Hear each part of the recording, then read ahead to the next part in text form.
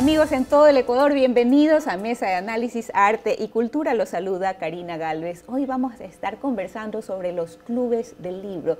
¿Qué son? ¿Quiénes se juntan? ¿Cómo se decide cuál libro?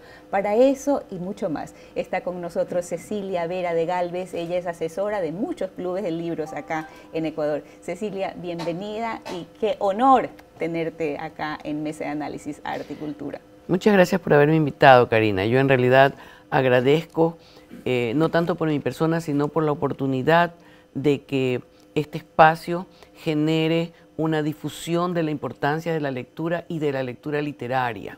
Mucha gente cree a veces que leer literatura es leer ficción y eso no lo necesita porque lo que le importan son las cosas reales. Y la idea es que hay que considerar la literatura, aparte de que es un arte, como la representación de la realidad, a partir de la cual a veces conocemos muchos más aspectos que los que están vinculados diariamente con nosotros. O sea, nos amplía y nos abre el panorama y la visión del mundo. Entonces, por eso me parece importante promover esto a través de tu invitación. Y es, importantísimo porque, como dices tú, es conocer la verdad Ah, y es a veces conversar con personas que ya no las tenemos cerca y ver qué mentes tan abiertas y, qué tan fácil de conversar hubiera sido si lo estuviéramos tomando un cafecito, por ejemplo, con Platón, con Aristóteles. Ah, por otro lado, si, si leemos eh, libros, por ejemplo, de Francia de 1500, podemos saber cómo era la vida, cómo era el tiempo, Ah, nos, trae una realidad eh, en base a todo, la, psicología del pueblo, eh, la psicología de la familia, la sociología. Ah, ahora, tú eres catedrática ah, justamente de aquí de la, de la Universidad Católica has sido rectora del, colegio Jefferson, estudiaste, tienes un eh, diplomado en gestión política y también en ciencias políticas, el uno de la Universidad Católica, el otro de la Universidad de George Washington, pero específicamente en cuanto a los clubes de libro, eres asesora de varios clubes de libro. Así es. Mira, yo en realidad, eh, a nivel de mis estudios iniciales, yo lo que obtuve fue el título, el primero de todos, el título profesional de profesora de lengua y literatura. Luego la licenciatura en literatura. Y luego hice cursos en la UNAM, eh, todos mis cursos de doctorado, pero me gradué aquí luego en la Universidad, Universidad Nacional, Autónoma de México. Y luego me gradué aquí, eh, hice este doctorado también en lengua española y literatura. Eh, me he dedicado mucho al análisis y la crítica literaria. Y justamente mis cátedras dentro de lo que fue aquí la carrera de literatura eh, tienen que ver con esas áreas. Aparte doy semiótica, que es análisis de signos o representaciones culturales eh, y una manera de, conocer más sobre el entorno que lo doy a los alumnos de la carrera de comunicación. Entonces todo esto unido me ha llevado siempre a estar en contacto tanto en la cátedra como en el quehacer de la crítica literaria fuera de la cátedra con lo literario, con las obras literarias y fundamentalmente aunque me gusta mucho leer poesía, no me dedico a hacer análisis y crítica de la poesía, sino de la narrativa, cuento y novela. Ahora, hablando de análisis, tus ensayos críticos están en, la, eh, la, antología esencial Ecuador siglo XXI, que fue publicada en el 2004. Sí, eh, allí eh, recuerdo que gracias a Miguel Donoso Pareja, que me solicitó uno de mis ensayos, este se publicó en esa antología. Aparte, como he, participado en algunos congresos internacionales sobre temas literarios, eh, haciendo estudios, presentando en las ponencias, eh, eh, obras literarias ecuatorianas, sobre todo escritas por mujeres, también, por ejemplo, en las memorias de los congresos. Recuerdo en este momento la de la Universidad de Puerto Rico, donde fui a un congreso, presenté la ponencia, fue seleccionada y me la, me la publicaron. Tengo eh, entonces ensayos publicados en, la, en, en este libro de la Universidad de Puerto Rico. Y otro ejemplo podría ser en el 2008, recuerdo que hubo una un congreso en conmemoración a la publicación, eh, me parece que eran los 50 años, de la, de la novela, eh, más, una de las más conocidas de Carlos Fuentes, el escritor mexicano, eh, La región, más, transparente. Y allí también nos invitaron a todos los que habíamos estudiado en la Universidad Autónoma de México y yo justamente mi tesis doctoral eh, la, trabajé sobre ese autor, sobre Fuentes, a que participáramos, demostrando la vigencia o la actualidad que tenía eh, hasta la fecha, o que tiene hasta la fecha, la obra de Carlos Fuentes y que la tendrá, porque es un autor, un clásico de la literatura latinoamericana. Eh, aunque lo, ubiquemos en la etapa del boom, pues, pero ha continuado y su lectura está en el, en, el canon de los, de los, libros más importantes que puede haber en Latinoamérica.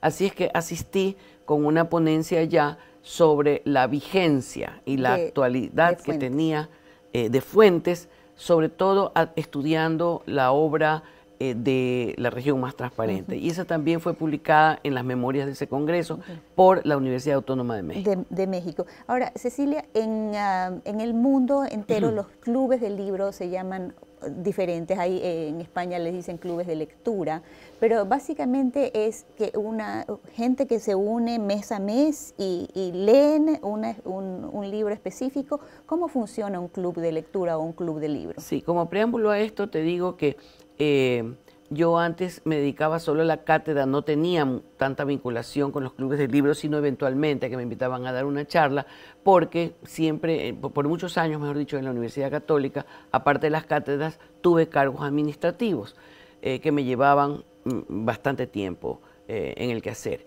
Pero desde que terminé con los cargos administrativos y me quedé solamente como catedrática en la universidad, entonces de unos años para acá he podido dedicarme con más frecuencia a asesorar a ciertos clubes de libros o talleres de lectura. Entonces aquí ya llego a responderte a tu pregunta. Eh, eh, ¿Qué es un club de lectura? Cecilia querida, el tiempo nos da para que irnos a un corte, entonces vamos a regresar en el siguiente corte hablando específicamente qué es un club de lectura, quiénes lo conforman, cómo se hace y cómo podemos diseminar clubes de lectura en Ecuador entero. Es momento de nuestra primera pausa, pero los invito a que sigan en nuestra sintonía a través de Canal 42 en UHF y Claro TV, Canal 74 en TV Cable. No se vaya muy lejos, que ya regresamos.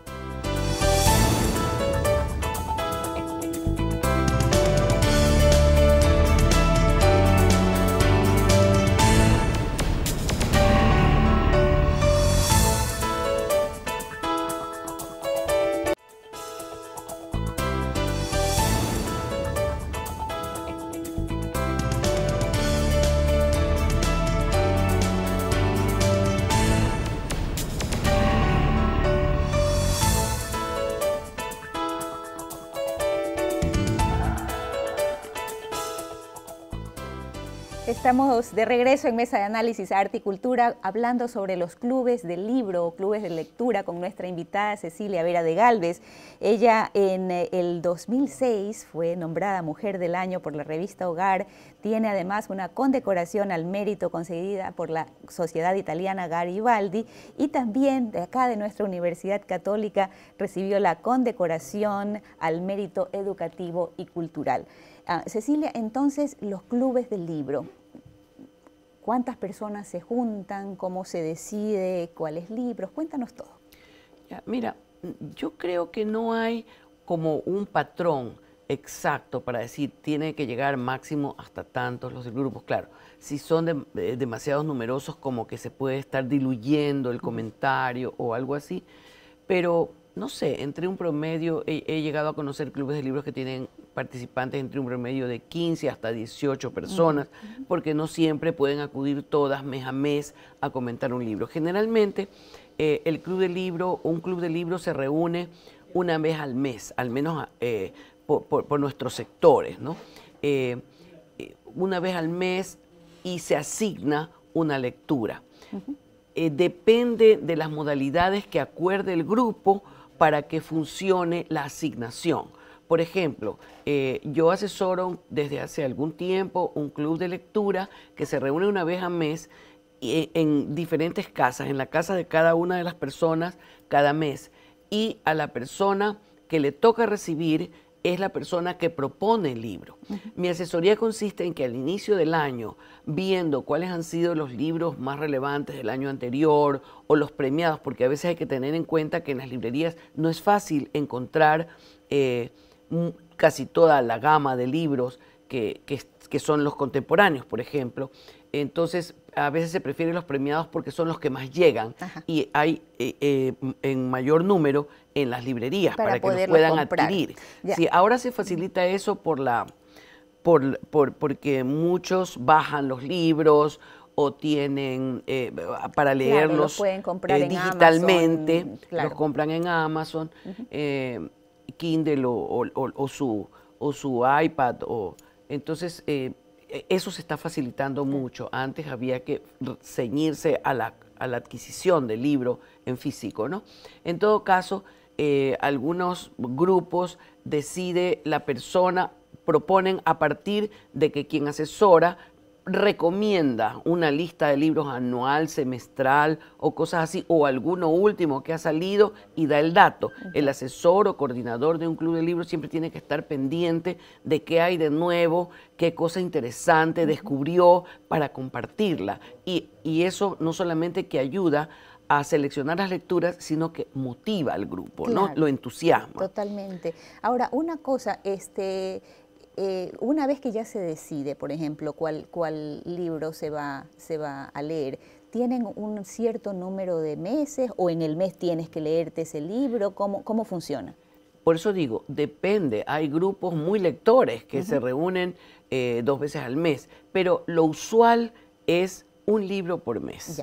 Entonces, generalmente se fija un día, por ejemplo, no sé, el segundo martes de cada mes o el tercer jueves de cada mes y eh, ese día ya se sabe, se reserva que se tiene la, la, reunión para el comentario y durante el mes pues se ha leído el libro para llegar con todas las inquietudes y los comentarios y las críticas en la mano, ¿no?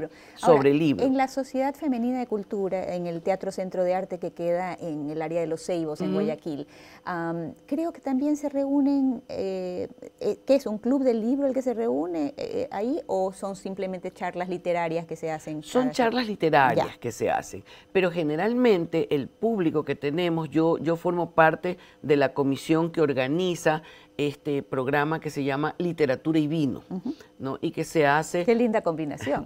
Nos faltó la copita. Así es. Es como eh, parecido, pues la idea sale de esto de los café concerts y de estas cosas. Eh, recuerdo que en Argentina conocí y asistí una vez que por invitación a un vino filosófico. y de ahí me vino la idea, bueno, si hay vino filosófico, ¿por qué no puede haber vino literario? Pero le cambiamos el nombre, le pusimos literatura y vino. Entonces se brinda una copita de vino y los asistentes que cada vez, esto ya tiene algunos años, fueron aumentando. Tenemos nosotros nuestro nuestro grupo eh, que, está pendiente, ¿no? El último jueves de cada mes para esta actividad. Entonces, más que un club de libro, es el comentario que se hace invitando a otras críticas literarias de un libro importante cada mes, ah, ¿no? Una vez al mes. Eh, eh, hay que conseguir a las personas, seleccionar los libros, recomendarlos, proponerles ese libro. A veces la persona me dice, no, ese libro no te comento, pero te propongo este de acá. Uno acepta, negocia y entonces ya tenemos generalmente para todo el verano que funciona este programa. Entonces no, es, no funciona tanto como un club o como un taller de lectura, sino como comentarios de obras importantes que motivan a la lectura a cualquier persona, aunque no esté en un club de libro ni en un taller de lectura, porque se llaman clubes de libros, se llaman clubes de lectura o talleres de lectura. La idea o la actividad es la misma. Pero hay mucha gente de los talleres ¿no? que también va a estos eventos porque leyó el libro en su taller o porque lo leyó por su cuenta. Eh, y porque está interesado en la obra. Y entonces se, se, se, realiza o se convierte esto, eh, sobre todo en la etapa, en el momento del comentario después de la exposición, en algo muy interactivo, ah, muy interesante. Claro, porque sabes de qué, de qué está hablando. Así es. Ahora, hay la oportunidad a veces en los clubes del libro de tener invitados al, a, los, eh, a los mismos escritores. Claro. En, en, muchas ocasiones eh, los, talleres o los clubes, los grupos, invitan a algún autor si es que han leído un libro de un autor ecuatoriano y generalmente aceptan las invitaciones muy gustosos y entonces la actividad se vuelve mucho más motivadora e interesante. Y lo interesante también es que es una manera de eh, darle apoyo a la literatura ecuatoriana en sí. Así es, momento de hacer otra pausa en Mesa de Análisis Arte y Cultura. Mientras tanto, usted puede enviarnos sus comentarios y sus sugerencias a nuestro correo electrónico que es mesa de análisis ucsgrtv.com o puede escribirnos a nuestras redes sociales en Instagram, en Facebook o en Twitter. Ya regresamos conversando sobre los clubes del libro.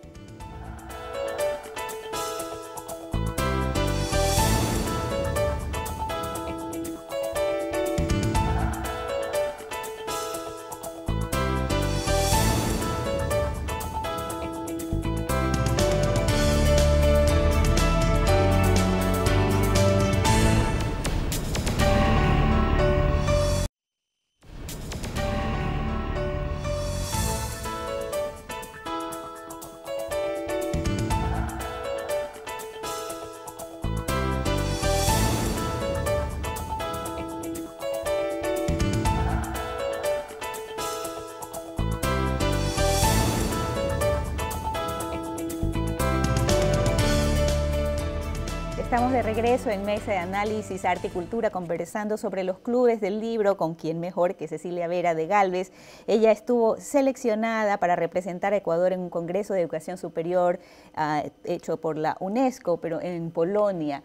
Ah, Cecilia, eh, ¿qué tan importante es saber las palabras, el significado de las palabras de ese libro que estás leyendo?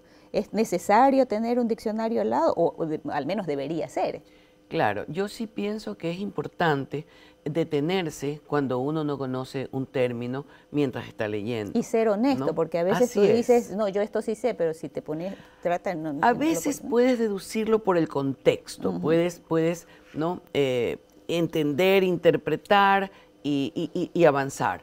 Pero es preferible consultarlo, sobre todo cuando son términos muy ajenos o medio extraños al, al vocabulario de nuestro uso cotidiano. Y pienso que es importante.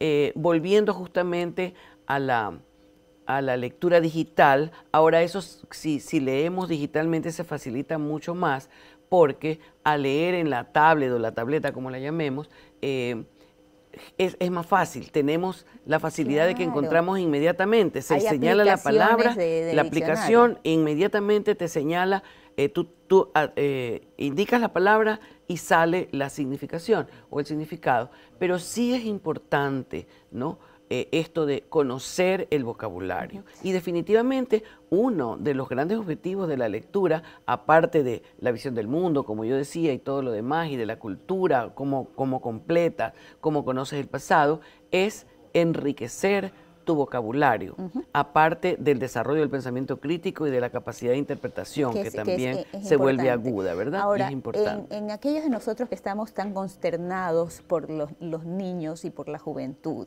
¿hay ya eh, clubes de libro de, de, niñitos o de jóvenes? ¿Se debería hacer, se debería fomentar a nivel de escuela? Ah, porque sería bastante interesante también. Hay instituciones educativas que tratan de fomentar con programas interesantes la lectura, también con bibliotecas atractivas. Conozco algunas instituciones que están eh, combinando ¿no? los aspectos digitales con la presencia del libro físico también, que es importante que el niño desde pequeño ¿no? se familiarice, toque, sienta, ¿no? huela a veces el olor claro, del libro. Imagínate, acá nos, nos acompaña Oscar Wilde, estamos, estamos por acá con, con eh, Víctor Hugo, nos vino a acompañar. En, solamente falta la copita de vino. Entonces, sí, es importante esto, ¿no? De fomentar la lectura y conozco que hay proyectos ministeriales en las instituciones educativas para el fomento de la lectura eh, y de la lectura comprensiva, de la lectura crítica. Eh, no sé si decir lamentablemente, porque no quiero, no, no, soy enemiga y no quiero declararme enemiga de los avances tecnológicos, todo lo contrario, eh, pero a veces eh, la tecnología como que ha hecho concentrar el interés de los niños y de los jóvenes solamente en los juegos, por ejemplo, tecnológicos. Sin embargo, a veces los mismos recursos que son de interés tecnológico, por ser tecnológico, para los jóvenes y los niños, los buenos maestros los aprovechan para llevarlos a la literatura y a la lectura.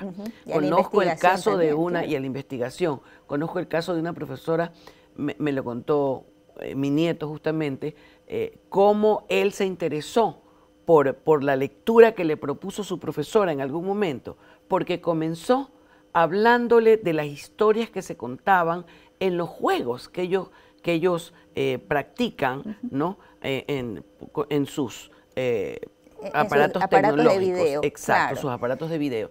¿no? Y a partir de, esos, de esas historias entró a la literatura. Entonces, el, chico hizo la relación y se comenzó a interesar por las historias de la literatura, porque lo llevaron desde aquello que él está viviendo. Siempre yo pienso en cualquier tema de educación, no solo en literatura, cuando uno parte, o un, un profesor o una profesora parten de lo que es del, el interés del momento por la edad y por, por, el entorno, el interés del momento del alumno, y desde allí lo lleva, lo conduce hacia otro aspecto muy importante de la cultura, los alumnos responden. Absolutamente, porque es, eh, les sale, les sale. Por ejemplo, si estamos hablando de eh, la ocarina de, de uno de los videogames, ¿Qué es una ocarina? ¿De dónde sale esa ocarina? Ah, qué, interesante, qué bonito. Ahora, ¿mensualmente se paga algo o eso es decisión de cada club? En los clubes de libro. Eh, generalmente se organizan y ellos aportan con una cuota para el reconocimiento de la labor profesional del asesor, ¿no? Que generalmente recibe un honorario por la, labor que hace, porque mientras están leyendo el libro, el asesor o quienes de la charla está también leyendo el libro, eh, sacando notas, preparando la conferencia, preparando todo el aspecto crítico, ¿no? Para el día en que toque, ¿no? Conducir el comentario eh, posterior a una introducción o a una hoja guía de lectura, conducir el comentario de la lectura de la obra. Y ese es un trabajo, un trabajo intelectual importante que, debe ser reconocido. Tiempo Entonces, así es, por supuesto que toma tiempo. no, solo las horas de lectura, es lectura lenta, porque se va entresacando las citas, subrayando, señalando, viendo la caracterización de personajes para hacer el análisis, etcétera. Es un trabajo profesional. Es un trabajo, es un trabajo profesional. Así Ahora, si tú tuvieras que mandarle un mensaje a Ecuador entero en cuanto a armar un, club de libro, eh, cuál, es, ¿cuál sería tu consejo? Eh, bueno, encontrar personas que estén interesadas en la lectura. Por otro lado, eh, que sean o que, o que vayan a respetar las normas. Eh, es triste cuando se llega al club del libro y el 50% de las personas del grupo no han leído el libro porque no tuvieron tiempo, porque no les gustó. Eso era otro tema que yo quería comentar, el gusto, ¿no? Eh, es importante disfrutar de la lectura, pero cuando ya uno ingresa a, este ejercicio de la lectura literaria, el arte puede ser que a veces nos guste o puede ser que a veces no nos guste tanto, pero sigue siendo arte. y si ya nos asignaron ese libro, hay que, leerlo. No puedes llegar a la reunión siguiente y decir, no terminé de leerlo porque no me gustó. No me gustó.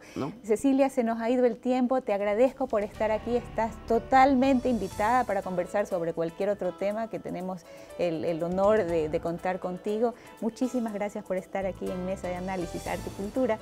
Y gracias también a ustedes, nuestros queridísimos eh, televidentes, quienes nos acompañan semana a semana. Por mi parte, nos encontramos en una próxima emisión de su programa Mesa de Análisis Arte y Cultura. Soy Karina Galvez y este es el canal de la Universidad Católica de Santiago de Guayaquil. Muchas Hasta gracias, pronto. Gracias a ti.